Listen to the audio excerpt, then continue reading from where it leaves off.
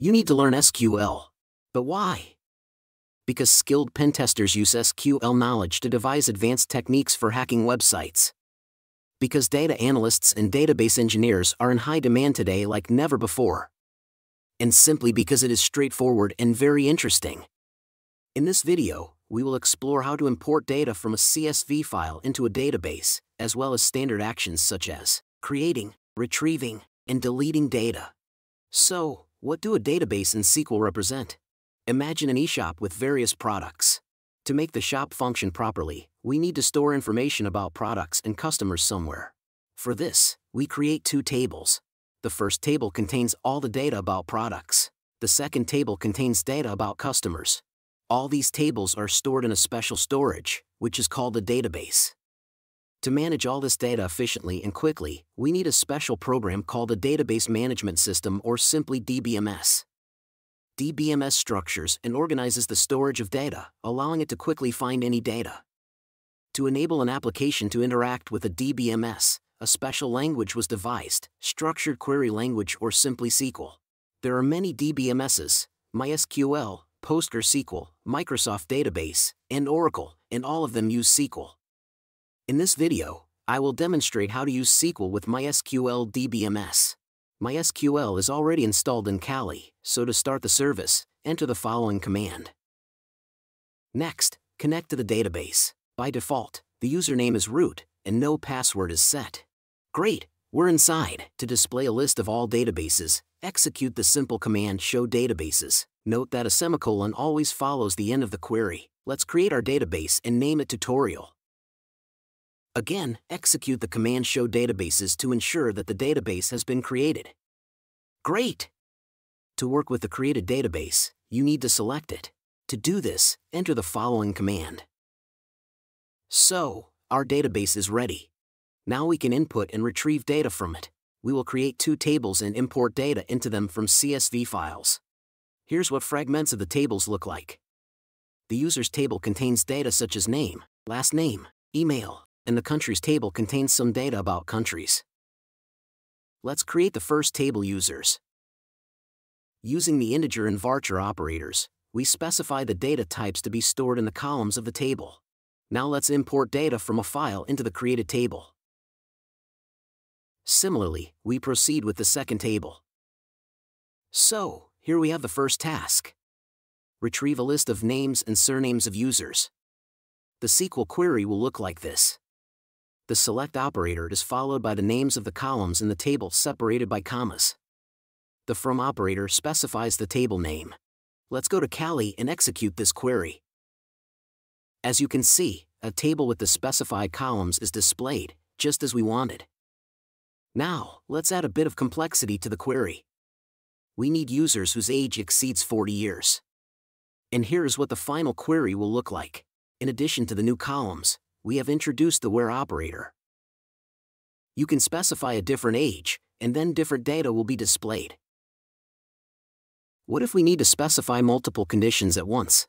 In this case, we can combine conditions using the AND OR operators. The AND operator is used when all conditions must be met, and the OR operator is used when at least one condition is sufficient.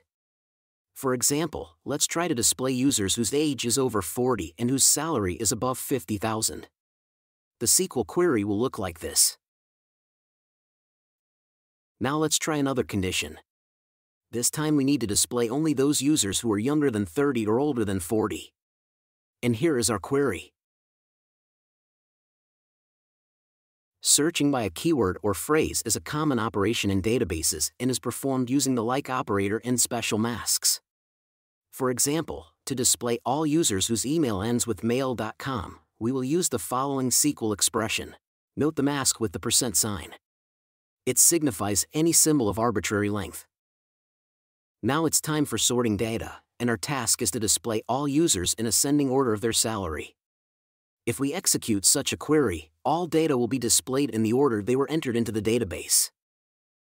For ordered output, we use the following query. After the order by operator, we specify which column to sort the data by. The ASC or ascend operator indicates that the sorting should be in ascending order. For descending order, you can use the desc or descend operator. By the way, after order by, it's not necessary to specify the column name, it's sufficient to specify its ordinal number in the query. For example, we have the following query. Here we can sort the output by any of the four columns, so sorting by salary would look like this. However, we can achieve the same result with this query, as the salary column comes first, so it is assigned the first number. This property is often exploited by hackers when searching for SQL injection vulnerabilities. Sometimes you'll have to deal with nested constructs. At first glance, they may seem complex, but if you break them down into several components, everything will become clear immediately. Let's try to solve the following task. We need to create a list of countries whose population is less than that of Brazil. Our query would look like this, where X is the population of Brazil. Information about it is also stored in the database and is a variable, meaning it can change based on certain conditions. So, first, let's determine the population of Brazil then we substitute the result of this query instead of x. In some cases, you need to execute two independent queries and display the results in a single output. For example, display a list of usernames working in Germany and display a list of countries belonging to Europe. Both queries would look like this. As you can see, both queries are completely independent of each other, and moreover, they are querying different tables. However, we need to execute both queries simultaneously and display both results at once. This can be easily done using the union operator, which allows you to combine both queries into one expression. But why do we need to combine two independent queries? The union operator is often used in SQL attacks when a malicious query is added to an existing one, and both queries are executed simultaneously. If the result of the first query is displayed in the browser, the output of the second query will also be displayed in the browser. Now let's try to insert new data into the table. For example, let's add a record that contains the following information. Our SQL query would look like this. However, why do you need to know how to add new records to the database in ethical hacking? Many websites authenticate users using databases. If you can inject a new user with administrator privileges into the database, you can easily gain full control over the system deleting data is one of the simplest operations. For example, to delete the user we created, simply execute the following query. On the other hand, the displayed statement will delete all data from the table. If you send a query like this, the entire database will be deleted. If hackers discover an SQL injection vulnerability on the server, they can completely erase all data. All DBMSs support the use of so-called masks, which allow the creation of more flexible queries with keywords.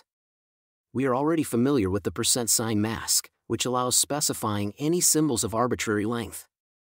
Another frequently encountered mask is the asterisk sign. With it, you can retrieve all information from a table. The screen presents a list of masks for various DBMSs. Hackers often abuse them when creating exploits. I hope the video was helpful for you and serves as a starting point for learning SQL and database management systems. Share your thoughts in the comments and see you next week.